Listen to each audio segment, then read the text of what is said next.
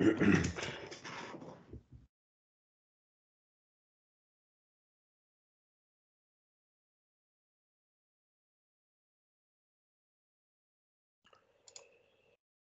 back.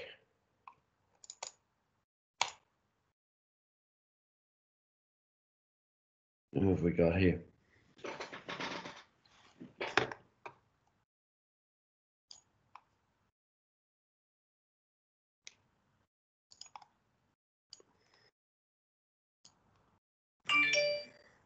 Here. At least, at least there's someone.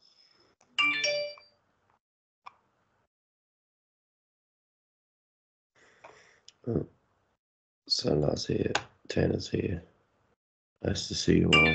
Jade is here. All right.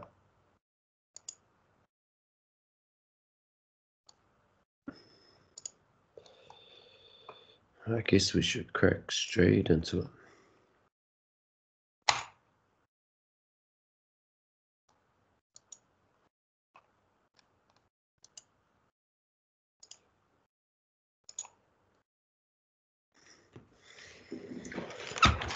Uh, can we all see the PowerPoint here?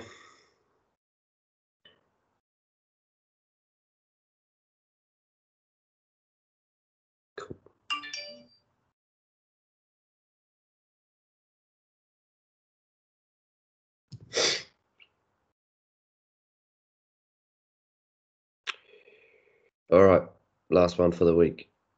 Let's go. Any minute now.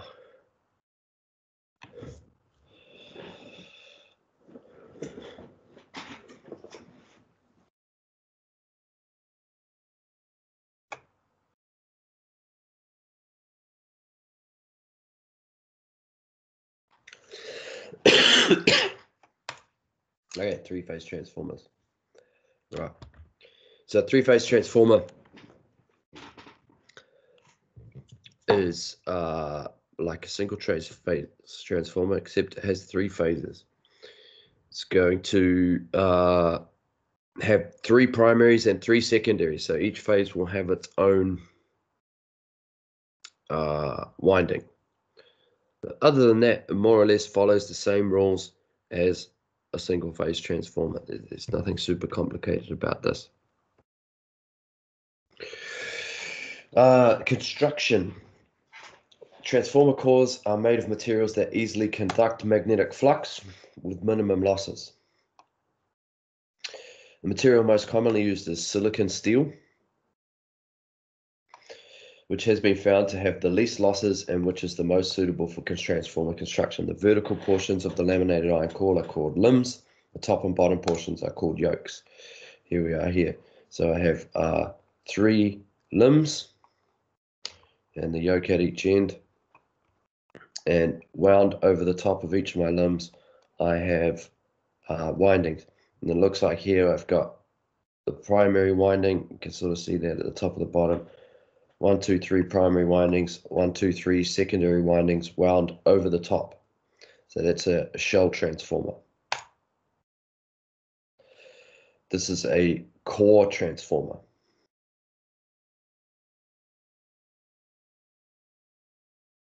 Which, if I'm honest, I'm struggling to see much of a difference there.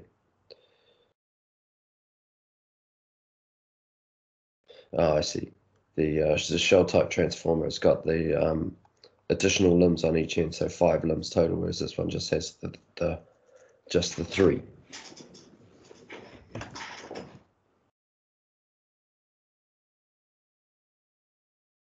Yeah, there we go. So there's our, our core type and shell type.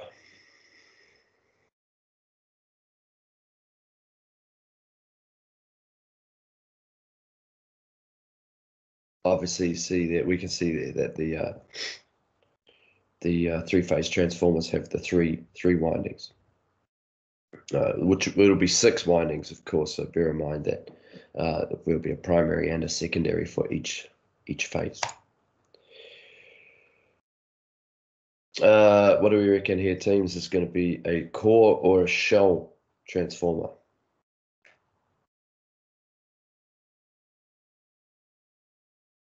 Look back at the picture here. We'll look at this one here. Have we got a core or a shell? Core, I agree. That looks like a core to me. Obviously, it looks like a slightly different arrangement.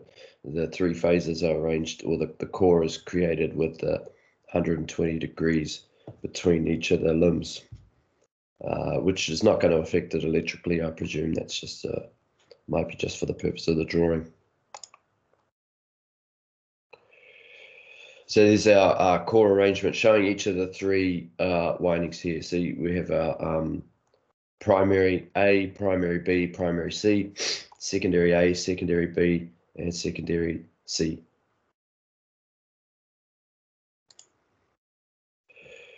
Is the shell type arrangement with the uh, primary and secondary wound together on each limb. So it's primary A, secondary A, primary B, secondary B, primary C, secondary C. Also note on here the uh, direction of flow of magnetic flux that's caused by each of these coils. Side by side winding placement. Windings placed in this way provide the best insulation between primary and secondary windings. So we have our tra transformer core there, the primary winding at the top, secondary winding at the bottom. They provide the best insulation because the windings are physically separate. If we wind them together on top of each or on top of each other, uh, they're going to um, need better insulation, right? Because they're uh, touch a sandwich winding placement. This method is used where magnetic leakage must be kept to a minimum. This method is used as in large distribution transformers.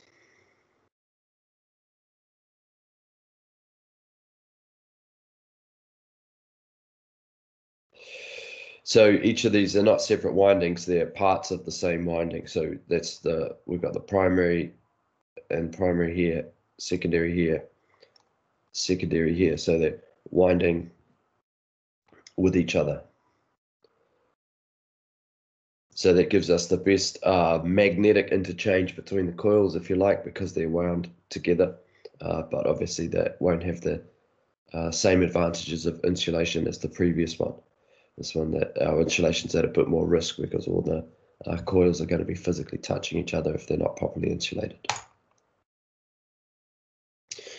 Uh, concentric winding. So that's physically with one wound and then the other one wound over the top of it. You can see that the dark shade there is the primary winding close to the limb, and then the lighter shade secondary winding over the top of it. Uh, so again, magnetically, this is an advantage because they're uh, wound one on top of the other. Okay, winding arrangements. Uh, this is going to be the tricky the tricky bit of this module star and delta. So we we haven't really talked about this before. Um, so we'll do our best to get through it. See if we can figure this out. Star and delta winding connection methods show all possible configurations for primary and secondary windings star is where one end of each winding is connected to a common point Delta is where the windings are connected in series with each other. Within each of these connection methods, there are line and phase relations. This is a picture of a star connected, uh, well, in this case, I guess secondary. A little bit confusing. Uh, you guys can see my um, mouse cursor on this one, eh?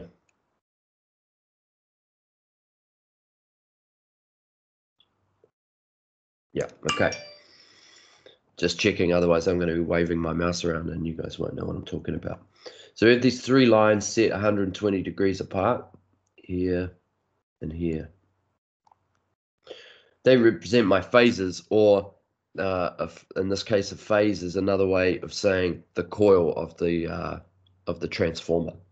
So if my th three transformer coils, one, two, three, Note that the three are connected together in the center, which means I'm going to take my output uh, lines. So those are the uh, lines going out to my load or whatever it is. I'm going to take those from the other end, the other end of uh, each of my phases. So one end of each of the phases is connected together, the other end is my output supply. So the, there, there's a, uh, an, a bit of an oddball relationship between lines and phase voltage here. So if you look at, uh, if you see everywhere it says EL, one here, one here. So that's E, E here is used to represent voltage. So we've got a voltage here that's between the output of line one and line two, right? So there's my phase one, so that's line one. Phase two, that's line two. So in a normal um, electrical system like we would see, the voltage between the two lines, if I measured it here, E line, or here, E line, so that's from phase one, line one to line three. Uh, well, you tell me how many how many volts am I likely to measure uh, my line voltage in the New Zealand system, line to line.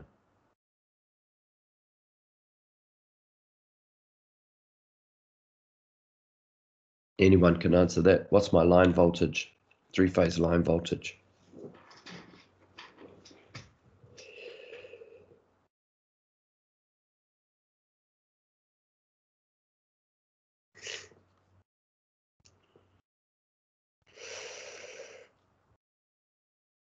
Come on, someone.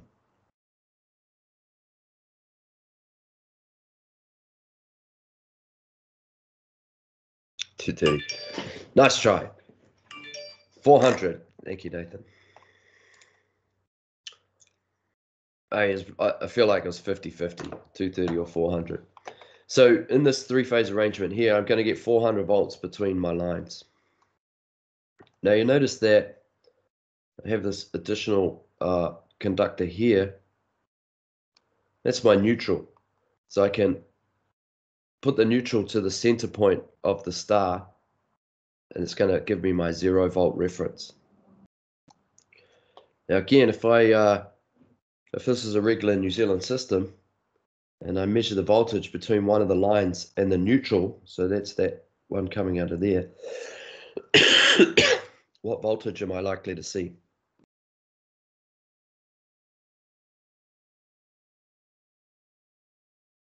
Go, Ray. You got this one.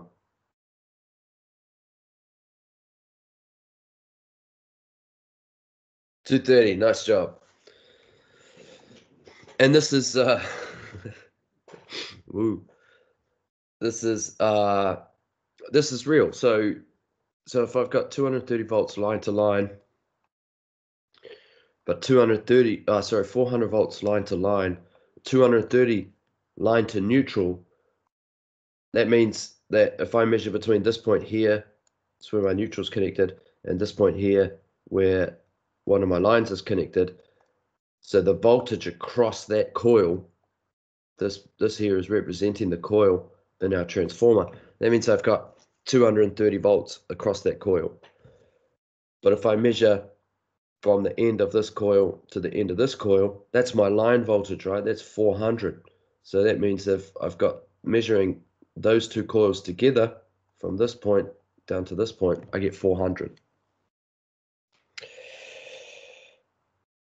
So that should confuse you a little bit because logic tells me, or at least uh, my rudimentary knowledge of electricity tells me that if I put those two phases in series like they are, then uh, those two voltages should add together. So I should, if I measure 230 across one of those coils, then two of them together, I should get uh, 460. But I, I obviously don't. So the relationship between the uh, line and phase voltages, in this instance, when we say a phase voltage, it's the voltage across one of those coils, or which I would see when I measure uh, line to neutral, and then line voltage is line to line, so that's two coils. The relationship between them is uh, square root of 3. If you want to test that, you can take out your calculator and multiply 230 by the square root of 3.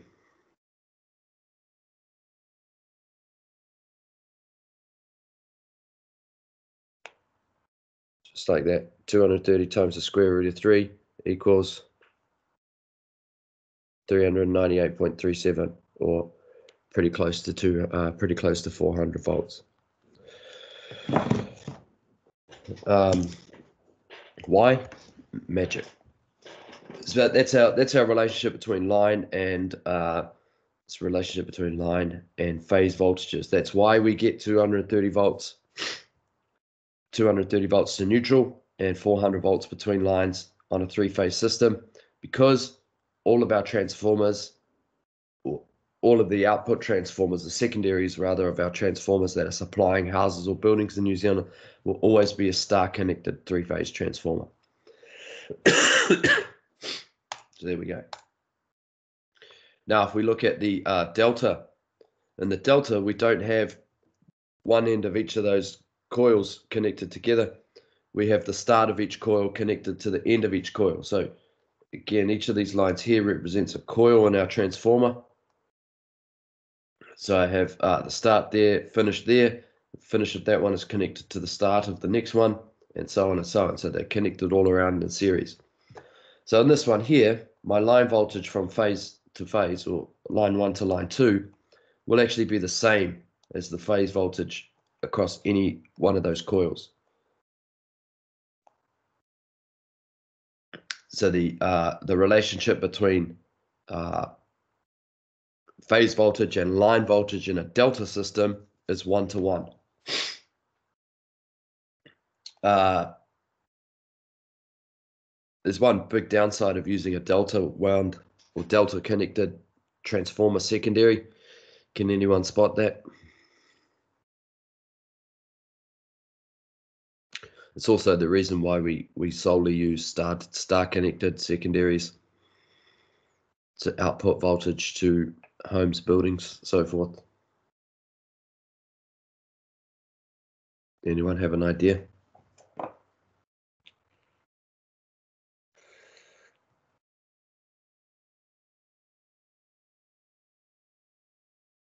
There's nowhere on the delta connection for me to put a neutral. There is no zero point in the system here everywhere I could connect something, which are the corners of those three triangles, will be uh, will be live. So because there's no neutral, this is no good to me to output um, voltage for any practical purpose because uh, we need a neutral in all of our buildings. Uh, we do use delta, it is used. Uh, you might have a transformer for a specialist purpose where you actually want that delta connection um, and you don't need a neutral or uh, inside motors. So a three phase motor can be star or delta connected as well.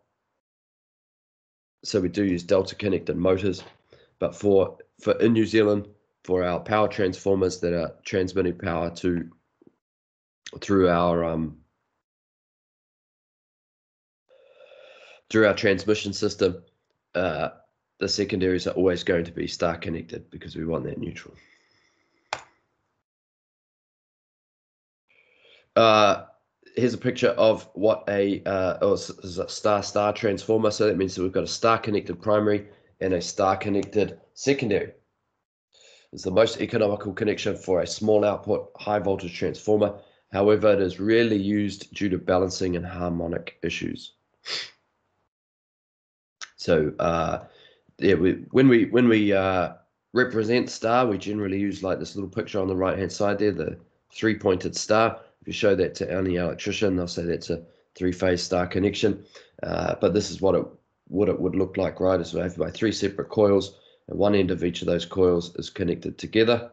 That's the right hand end on these ones, and then the three lines are running out of there, and then same on the secondary side. So this is star on one side, star on the other. Now, obviously, if we can have star star, then presumably we can have any other mix of star and delta. And here we have a delta delta connection. It's the most economical for a high current, low voltage transformer.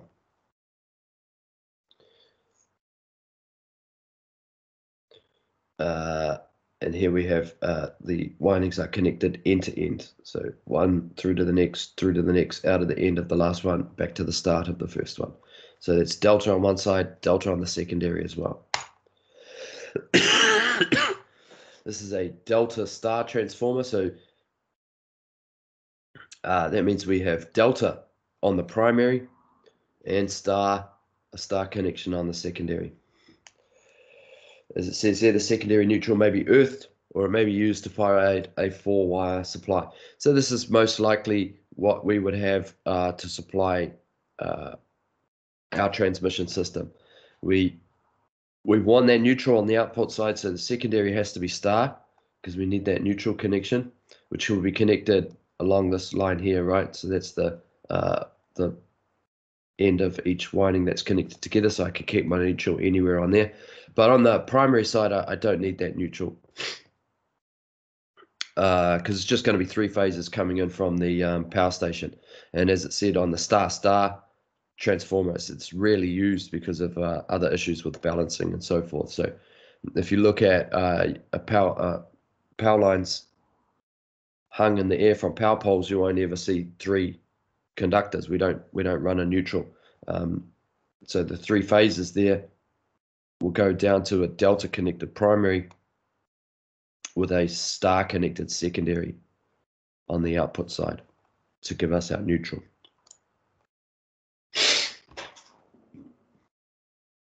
And this one's the opposite. This is a star connection on the primary side, delta on the secondary.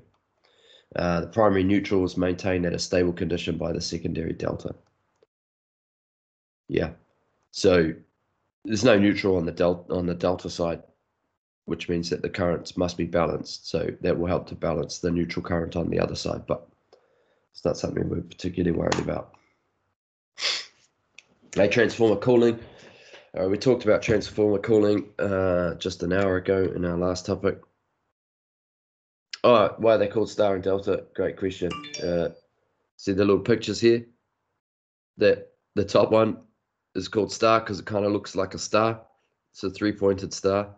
And the bottom one is delta because anyone want to have a guess? It's really obvious. No, okay, the Greek letter delta is a triangle. That is the symbol for what's it looks like the Greek letter delta. So they're called star and delta for the dumbest, most uncreative reasons, and that when we draw them, that's what they look like. One looks like a star, one looks like a symbol for the Greek letter delta. Good question, should answer. Unfortunately, I wish it was something exciting. I can make something up. They're named after John Starr and Dave Delta, who uh, both discovered those two competing systems and killed each other in a duel in 1846 over uh, whose one was better. And then, of course, afterwards, uh, both of those different systems serve their own purposes. Uh, so we now coexist with Star and Delta and uh, uh, happily together, even though our mates John Star and Dave Delta killed each other. There you go. That's a better story. And then I guess one of them electrocuted an elephant, probably or a hippopotamus. Dave Dave Delta. That's what the duel was about because Dave Delta um, electrocuted a hippopotamus using a star system, and then John Star got quite quite fired up about it. So shot each other in the duel. Sad story. All right, transformer cooling. One day somebody might watch this video back and wonder what on earth I'm talking about. Just so we're clear, I made that up the real reason is because one looks like a star and one's the Greek letter for um, delta. Uh, oh, and there was a little callback in that made up answer uh, to the previous video in which we talked about um, Thomas Edison electrocuting an elephant to discredit uh, Nikola Tesla. And if you're, watching this in the future and wonder what on earth that is about, that's a real thing that happened. Uh, go back to the previous video on single trace phase transformers, and um, we can see that. Right. Um, as Rangi Marie is rightly pointing out, I'm talking rubbish, so let's get back to it. It's our last topic for the week, so we'll, uh, I'll try my best to stay on task. After this, I'm going to go uh, to sleep, probably for the rest of the week. Uh, all right, so we know from our last one that we're going to have heat produced in the transformer uh, due to those losses, iron losses, copper losses. The iron losses being uh, the eddy currents that are happening inside the core that, that we, we can't do much about. We split the core up into those laminated sections rather than one big iron core um, to, to minimize the amount of current that can flow. Uh, but other than that, we just have to suck it up. Now, copper losses are due to the resistance of the coil, the pure copper resistance of the coil, multiplied by uh, the current that's flowing. So the more current I draw, the greater those copper losses are going to be because it's a heating effect of just putting current through copper, right? To prevent undue temperature rise, the heat is removed by cooling. This is obviously going to uh, improve the maximum capacity of our transformer. As we said earlier, the greater the current flowing through the transformer, the more heat that will be produced. And just like we've talked about on uh, a number of occasions, with any copper cable or any cable made of anything, any cable, the the limiting factor on how much current it can uh, safely transmit is the heat that's produced and the heat that can be dissipated. Uh, because heat is the enemy of our of our conductor. Eventually, it will get hot enough that it will burn out that conductor. So, and so a transformer is, is the same. It's no different. The more current I punch through that transformer, the greater the copper losses will be, the greater the heat will be that is generated, and therefore, eventually, there'll be so much heat that the transformer will destroy itself, or at least the conductors inside the coil will melt. So we can uh, right, rightfully say then that uh, the power handling capacity of a transformer is limited by the heat that it can dissipate. Which is true for a cable as well, right? So, um, you know, when we've done cable selection and we looked at those different mounting or installation situations, like buried direct in the ground or um, in the air or on a wall in thermal insulation inside a conduit and they have different ratings for all those different things. That's just because of the heat dissipation you know we've talked about that. But it follows logically then that if i were able to somehow manually cool a cable in one of those situations then i guess i would be able to uprate the current carrying capacity of that cable uh, because it's only heat that's going to um, destroy it. So there's no there's no specific number of current that's going to destroy a cable that's the heat that destroys the cable. So if I could remove the heat another way, then the cable could carry. I mean, if I could remove infinite amount of heat from the cable, then in theory, any size cable could carry any amount of current. It's just the heat that's a problem. Now, we don't tend to obviously um, cool cables. It seems rather pointless. Uh, in most cases, it'd be far more economical and more practical for me to just use a bigger cable uh, but in the case of a transformer, it's uh, it's fixed in position. It's there to do a certain job. Um, uh, there's some economy in there, some economy there in uh, cooling, cooling the transformer in order to increase its capacity, uh, than just building a bigger transformer. Incidentally, just going to go back to the first sentence of this before we move on. Heat is produced in a transformer by the eddy current and hysteresis loss in the core. The eddy current and hysteresis loss, we actually use that to our advantage. And we may have talked about this before. Does anyone remember where we would use that eddy current? So remember our eddy current we're talking about, we've got that transformer coil creating a magnetic field. We have a core sitting in that magnetic field, and therefore, uh, in spite of the fact that we don't want it to happen, uh, that magnetic field will induce some current into the uh, into the core itself, which will flow th- through the core, and we, we lose some of our energy like that. But there is a, a very specific case where we actually use those eddy currents to our advantage. It's nothing to do with a transformer; it's something else entirely. Does anyone remember or um, was using the clues I'm giving you and you've come up with to that? What do we think?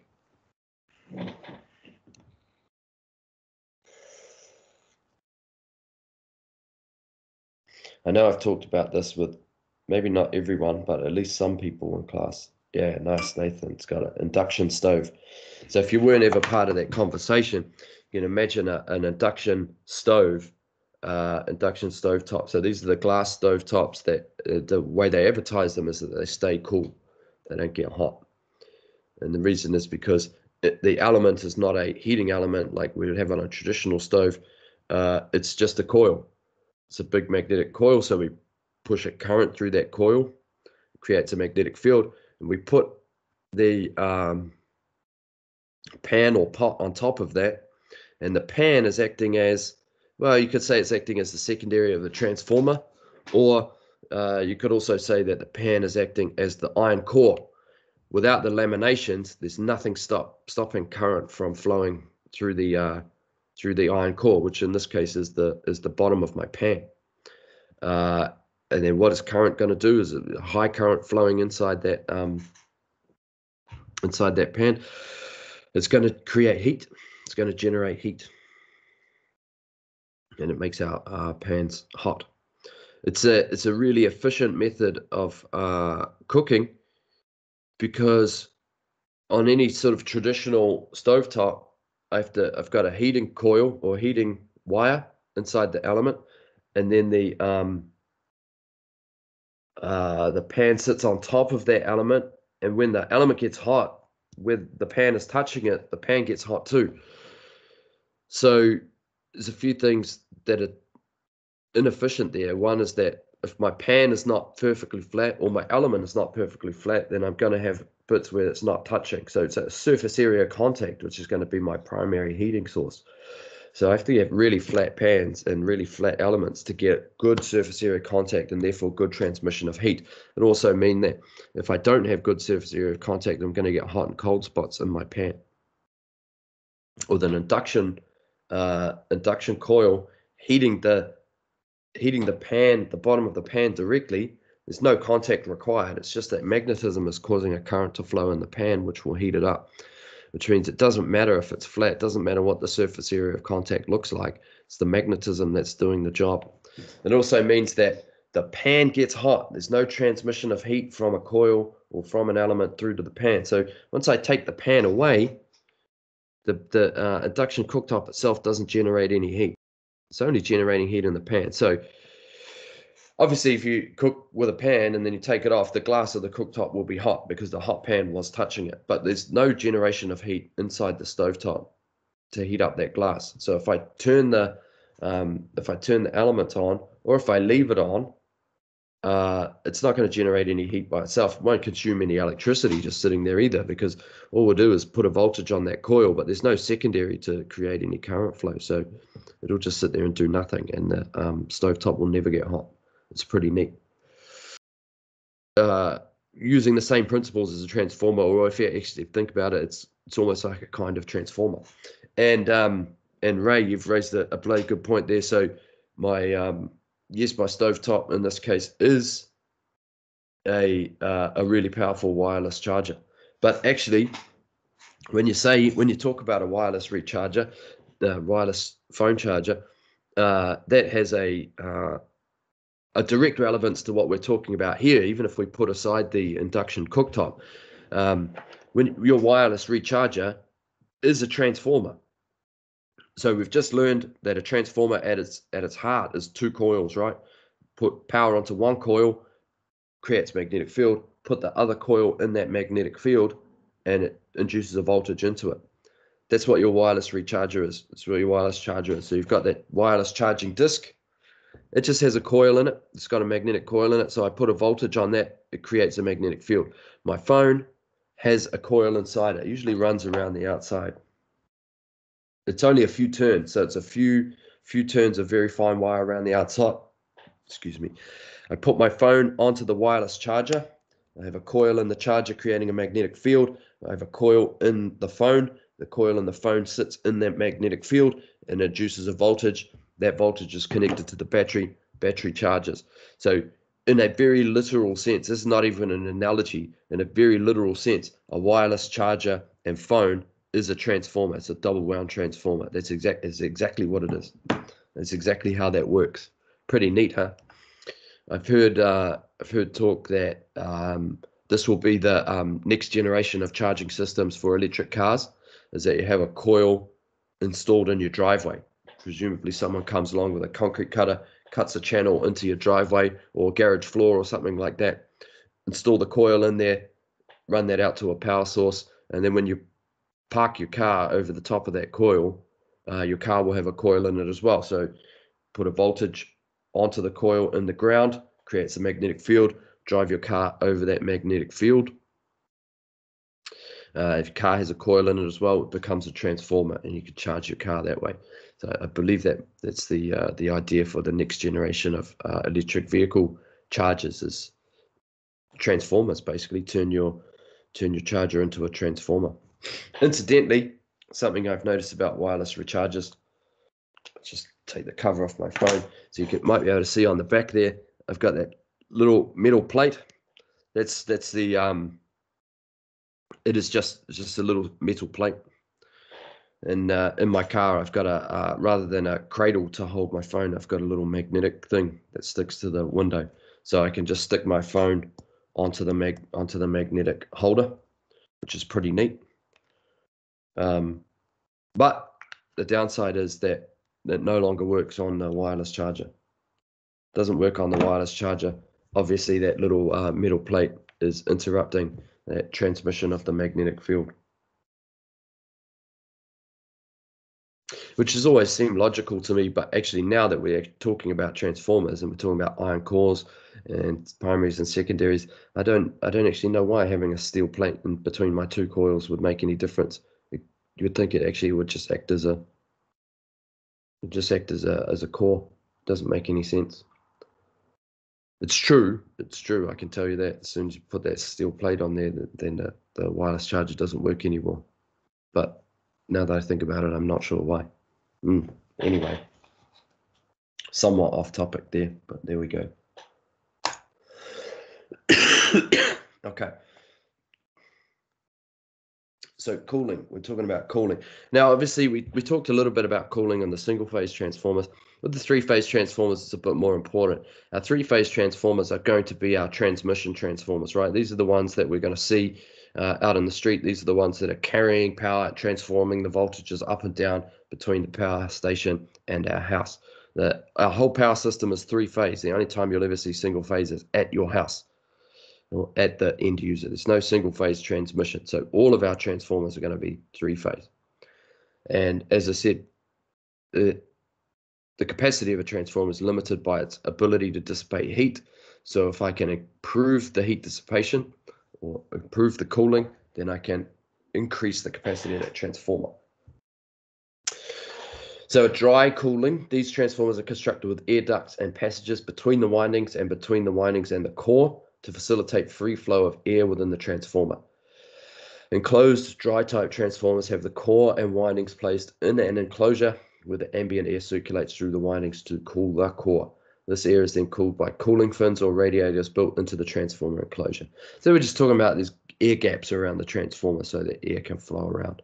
When it goes into the um, enclosure, then we'll have uh, cooling fins on the outside to cool the air that's inside the transformer enclosure. An oil-cooled transformer or oil-filled transformer, as I mentioned in the last topic, oil-cooled transformers are enclosed in a steel tank and oil. So it's inside a steel enclosure and filled with oil, and the transformer is inside there.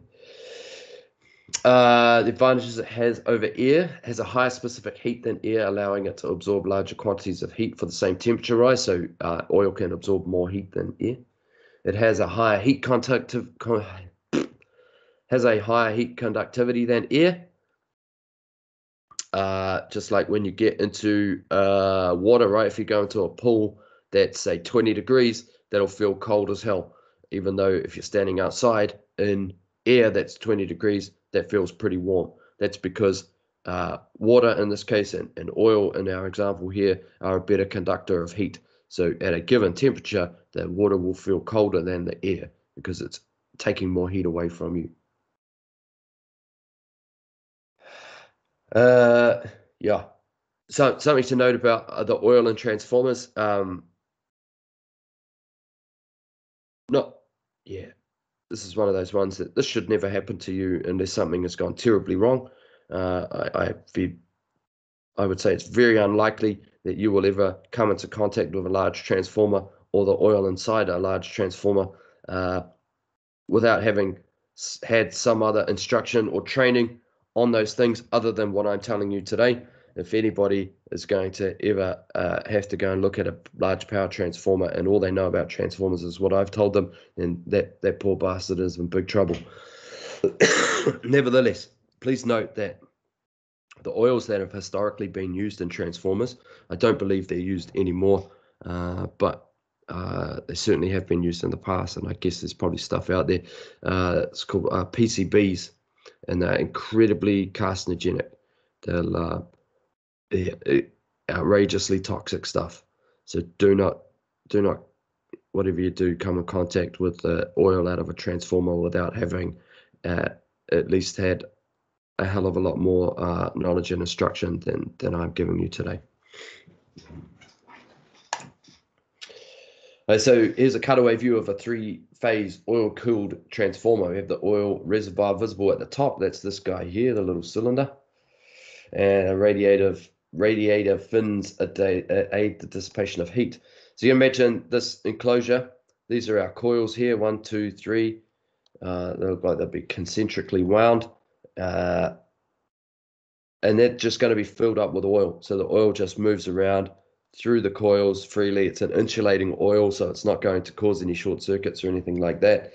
Uh, and then the fins on the outside of that box uh, will air cool, you know, allow the heat of the oil to dissipate out into the atmosphere. Uh, and you'll see, actually, you'll see stuff, things that look remarkably like this um, hanging off the top of power poles or even uh, sitting on the side of uh, the street or something like that. this is this is uh, pretty similar to what um, most three-phase transmission transformers look like. Oh, plain radiator cooling. In this case, the cooling takes place through the air or oil being exposed to the tank and the tubes or radiators attached to the tank of the transformer. The tubes or radiators are exposed to the air and this dissipates the heat developed in the transformer. Do we have a picture? No.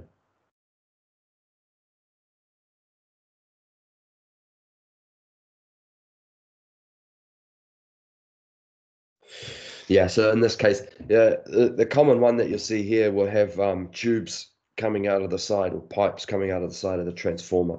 Um, as the oil heats up, it gets pushed to the outside and flows up through those tubes. And then obviously the tubes on the outside of the transformer, oil flows through them that has a much higher surface area of contact with the surrounding atmosphere. So just um, cools the cools the oil like that, and then the cool oil will drop back into the uh, into the transformer and cool the uh, cool the coils again.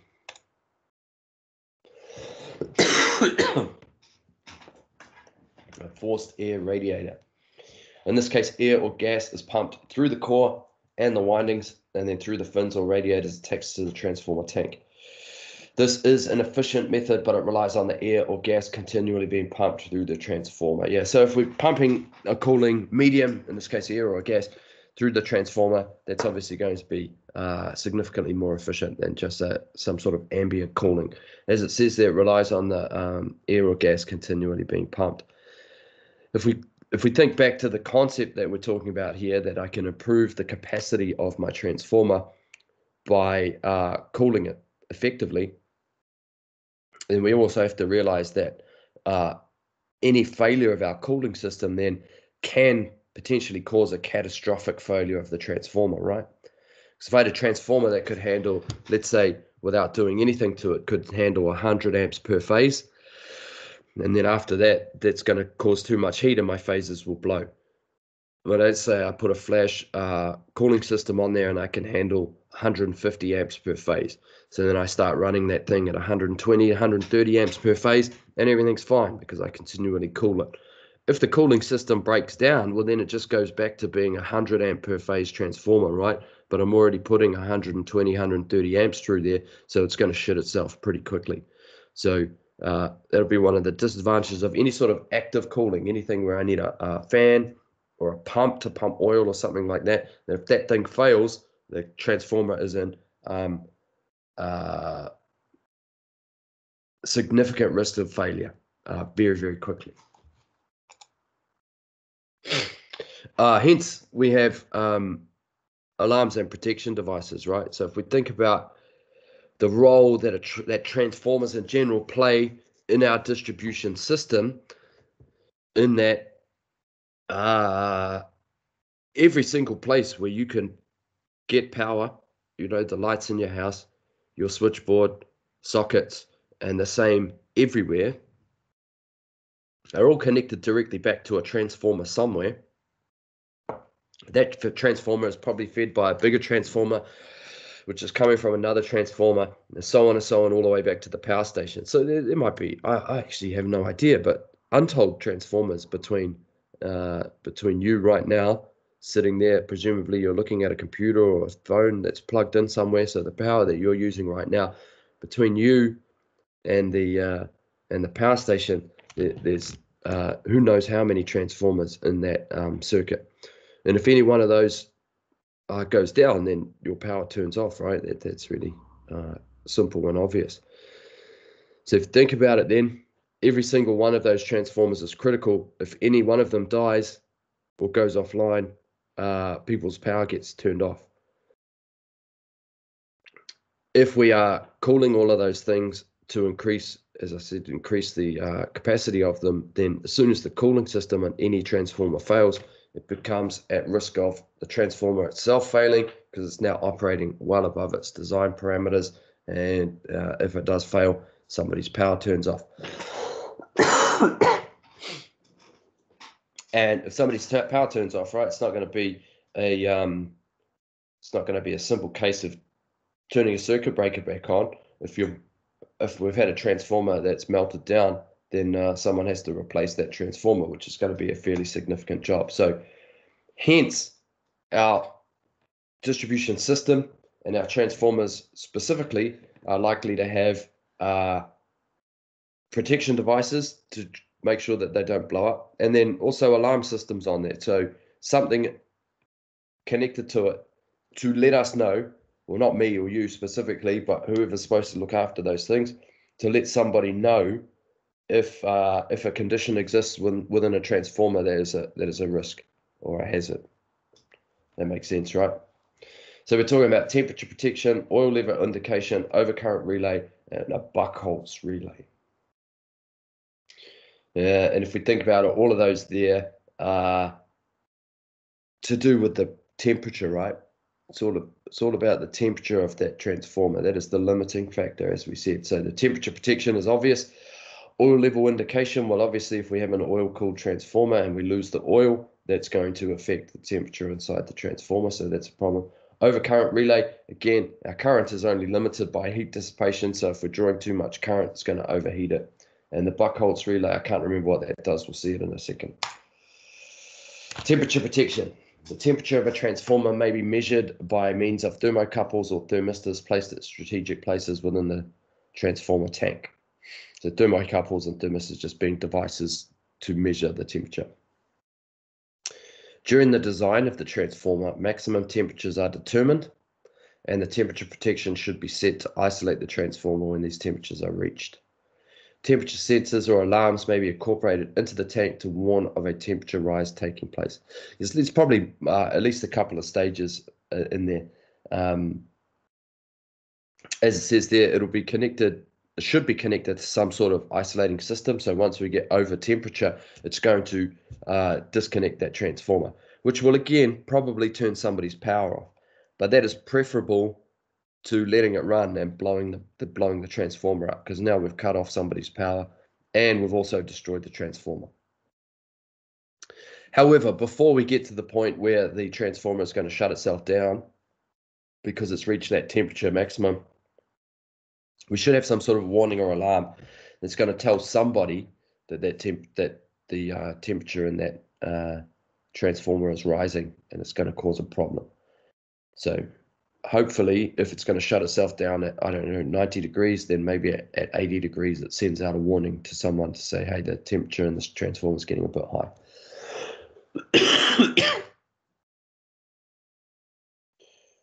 Can you imagine that? This is another one, like we were talking about. Was it street lights yesterday or the day before? This would be another one of those unseen things that's happening out in the world that we have no idea about. It. Can you imagine how many transformers, even just that kind of limited view that we've got on this now, how many transformers there must be in our transmission supply system? And if every one of those had some sort of temperature warning going to somewhere, and imagine there must be a control room somewhere where I know, I guess somebody's probably just sitting in front of a computer screen, but you know, I like to think of the world in, in terms of, you know, 1960s James Bond movies. So there'd be a room somewhere and there'd be a huge map on the wall with little lights that show you every every transformer in Auckland or something, and then like they'll flash on or starts to overheat or something. There'd be a guy there with a big red phone ringing someone. You know, the, the transformer on Otawa Road is overheating. You better get down there quick. I don't know. Maybe that happens. I'm not sure. Like I said, it's probably just somebody sitting in front of a computer now. Somebody probably gets a text. The the closest technician probably get a text to say that uh, the transformer on Otawa Road is sitting at 75 degrees. But still, it's still cool, right? We're still talking about this massive invisible system that kind of runs and controls our day-to-day life in a in a way that that we have no concept of, never occurred to us that it ever existed, and yet here we are. God, you guys are boring.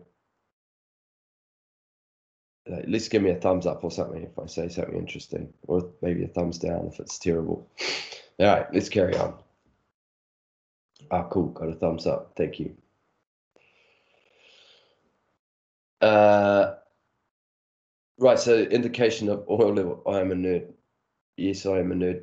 I think that's an advantage, though. Let's be fair here, Rangi. If I wasn't a nerd, I wouldn't know any of this shit, and now and you wouldn't know any of it either. And I would just tell you all of the basic things that you need to know. Uh, being a nerd is important because every now and then I come up with some weird thing that just kind of brings, hopefully, ties the stuff together or, or gives some sort of uh, counterpoint to it that makes it relevant to our life. but I am a nerd. I agree with you there. All right.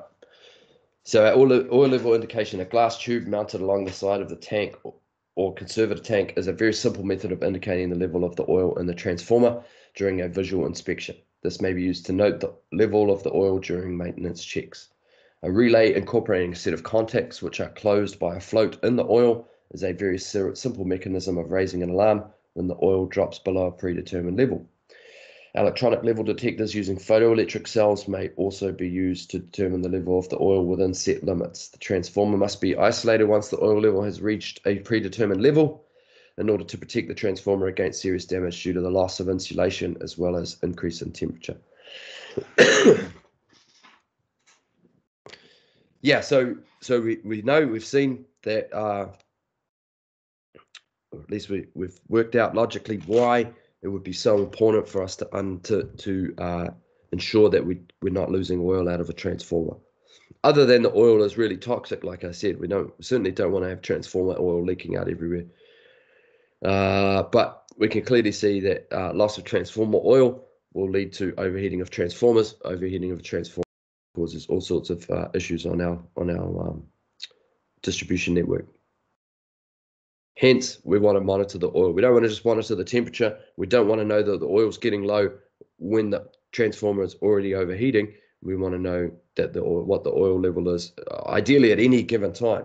And again, this might be a little bit old. These systems might be a little bit old, but actually, uh, the technology exists, and it wouldn't surprise me in the slightest if out in the world now that there is uh, a system in place for the real mo- real time monitoring of the oil level in every single transformer, because all you need is a is a level a level gauge and a little um, a telephone connection or a, or a cell phone card or something in it um, to send out signals, and they can all be received in a control room, and someone can look at them.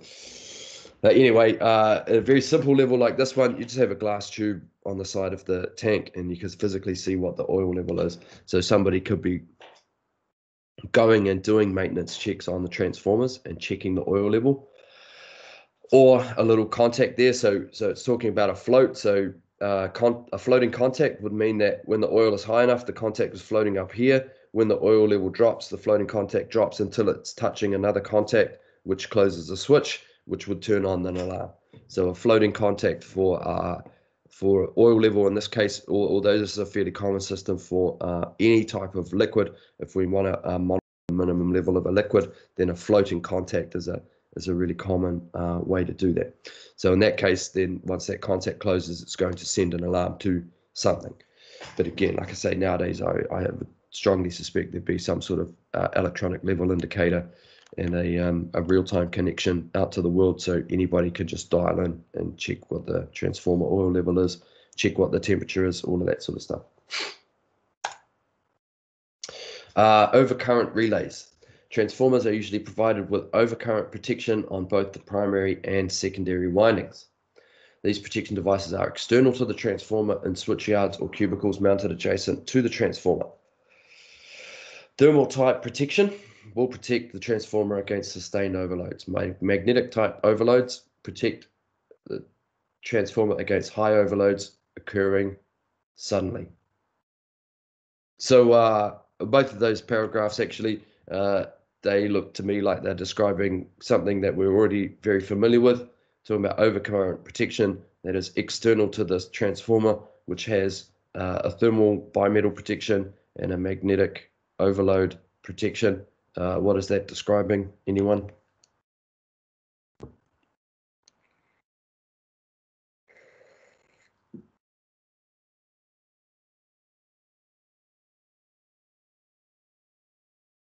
Yeah. Uh, in this case, I would say it's not an MCB because it won't be miniature. It'll be pretty big, but really this slide uh, is just describing a circuit breaker, right?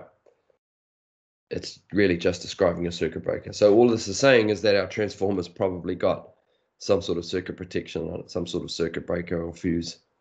Maybe not physically on it, but it will be protected by uh, overcurrent protection. So yeah, nothing new or exciting there, in spite of the way it's written to sound like it's something clever. We're just talking about a circuit breaker. Okay, Buchholz relay. A Buchholz relay is a gas and oil operated device installed in the pipework between the top of the transformer main tank and the conservator. A second relay is sometimes used for the tap changer selector chamber. The function of the relay is to detect an abnormal condition within the tank and send an alarm or trip signal. Under normal conditions, the relay is completely full of oil Operation occurs when the floats are displaced by an accumulation of gas or a flap is moved by a surge of oil. Almost all large oil-filled transformers are equipped with a Buchholz relay,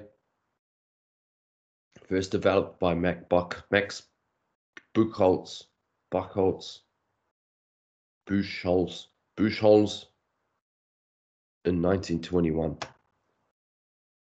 Do you think that's pronounced right? It's Buchholz, Buchholz, Bush, Bush, Buchholz. I don't know. Uh, to move the picture. Oh, okay.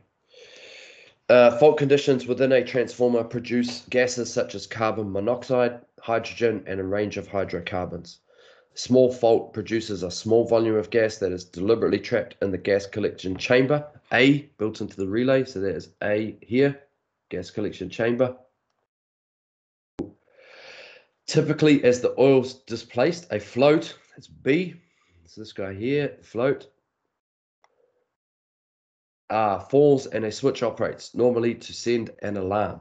A large fault produces a large volume of gas, which drives a surge of oil towards the conservator. The surge moves a flap, D. Oh, there's a flap there, that little guy there. And the relay to operate a switch and send a trip signal. A severe reduction in the oil level will also result in the float falling. Where two floats are available, these are normally arranged in two stages, alarm A followed by trip C. There we go. So gas collection chamber, upper float, lower float, oil surge detector. Look, um, don't don't uh, get too caught up in this one. This is a, a specialist protection device designed to be used in an oil-filled transformer. As I said, none of us are ever going to have anything to do with an oil-filled transformer unless we've had significantly more training than uh, than we're doing right now today. And, and, and like I said earlier, if you ever find yourself having to work on an oil, large oil-filled transformer and the only information you have is what I'm telling you now, uh, run away. You, you've you found yourself in the wrong job somehow. So this is a specialist piece of equipment that's used in an oil-filled transformer. I've never seen one. I've never heard of one uh, outside of uh, this slideshow. So I wouldn't freak out if it doesn't mean much to you. Uh, it's just not going to be relevant unless you're specifically uh, working in that industry on that equipment. Okay. If you do want to learn more about the Buchholz Buchholz relay, uh, uh, there's some there's a good uh, Wikipedia page about it, I think, and some videos online. You can have a look at how it operates. Uh, variable copper losses. During the design of the transformer, the resistance of the windings is kept as low as possible by making the copper windings as thick as possible and by making the windings as short as possible. Remember, as we lengthen that conductor, the resistance will increase. The losses that take place in the transformer are therefore dependent on the square of the load current flowing in the transformer. Yep, so we talked about that in depth before. I squared R, current squared times resistance is going to be the uh, the heating or the, the power that I lose via heating. So the current squared times the resistance. And it's resistance, the actual copper resistance measured by a multimeter end to end on the coil, not the uh, not the load uh, of the magnetic field, just the copper. Right, hysteresis losses, we know about hysteresis losses. These are iron losses. This is what we're talking about, the uh, the pan on the induction hob just that having a, a piece of metal sitting in that magnetic field is going to draw some current. So we will lose some current that way via um, current flowing just around and around inside the iron core. And we minimize that by chopping that iron core into small plates and insulating them against each other.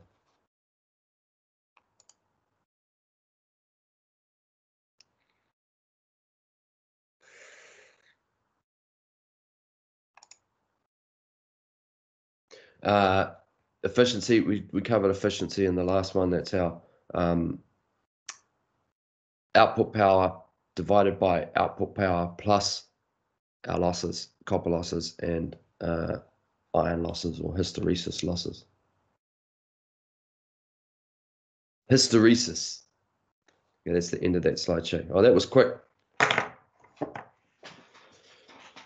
Oh, it wasn't that quick. Oh, about an hour. Yeah, not too bad. Hysteresis. That sounds like hysterical. Does um I wonder where that where that connects. Does anybody know what the word hysterical means or where it comes from? This is a great one. You're going to love this.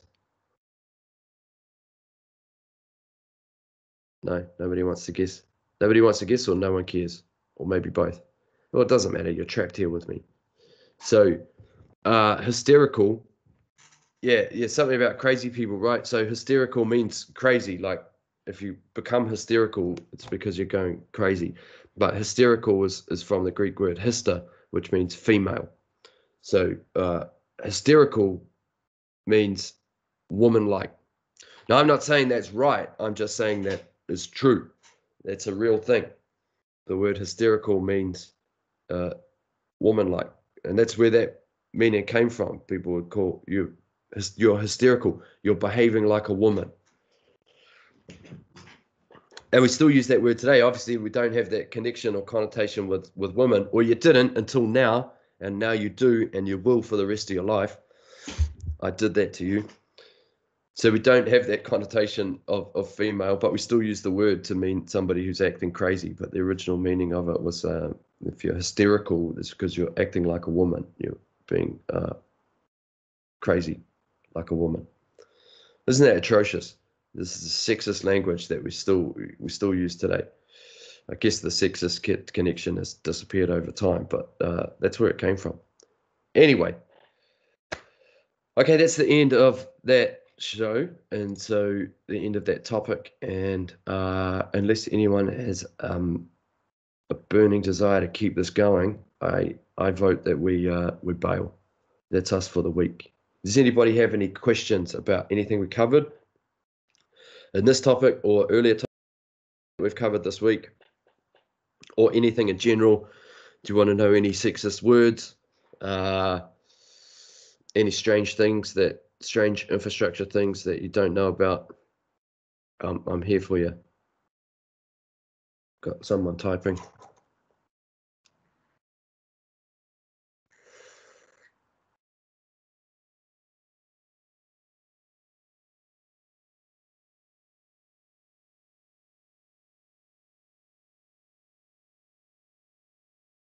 No, they've stopped typing. Okay. So is that no questions then? Uh, well, um, think of any questions right now if you've got them. In the meantime, uh, so that's us for the week. Back at class on Monday. Hopefully, I'll be I'll be better. If not, I'll let you know. But um, Christ, if I'm not over this cold by Monday, I'll just shoot myself anyway. Um, we'll do classwork on Monday so we can have practical on Tuesday and Wednesday remember that the tests that for the topics we've covered this week will be due on Sunday night. That does not include does not include the uh, the two transformer ones that we've done today. Those will be due next Sunday because they're next week's topics. Otherwise, you're going to have to do seven tests this week, which I'm not particularly sympathetic, but even I think that's probably too much. Uh, I feel like I had a point to make about the tests or something earlier, but I've forgotten what it was. No, must be nothing. Still got somebody typing, so we'll just we'll just wait for them. Uh, they're just saying see you next week. Okay. Oh, if nobody's got anything else, uh, free to go. Oh, that's the thing. Actually, wait, that's what I was going to say. Now, there's one downside of me making those tests due on Sunday night. I've put it as Sunday night because I want them done before we come back to class every Monday. Just make sure that we're all keeping up to date. Now, I, I know what's going to happen, so I'm going to warn you this now. Is that on Sunday, maybe Sunday afternoon, maybe Sunday night, some of you are going to be sitting there going, Oh, I have to do those tests now because I haven't done them and then you're going to be you're going to jump in there and you're going to be tempted because you're going to start panicking and you'll be like i don't know the answer to this question. You're going to be tempted to text me uh, message me and ask me uh, to help you. If you text me on sunday night to ask me to help you help you uh, please don't be offended if i ignore your messages because uh, just because you leave your shit to the last minute it doesn't mean that i'm obliged to uh, jump out of bed and help you. Okay. I might respond to you anyway. You never know. I do feel a little bit guilty when you guys text me and I think uh, I can't be asked responding. Um, so I'll usually respond anyway. But if you don't get a response, then just remember this is your fault. If you're doing your tests at 10 o'clock on a Sunday night and I'm not there to help you, that's on you. That's not on me. Don't make this about me and don't make don't let that happen. Just get it done and then we don't have to worry about it. Everybody okay with that? Good. I'll take your silence to be assent. Yeah, good. See, Solar, Solar knows, but he's never going to leave it till Sunday. Cool. Uh, appreciate very much. I appreciate that uh, you guys are coming to the party with me being sick this week and uh, and us being able to do this online uh, and everyone joining in and working hard. I can see that um, most of you are getting into the tests already. Uh, some of you have com- completed them all. Uh, so I very much appreciate that, and I will see you all back on uh, Monday. Thanks, guys.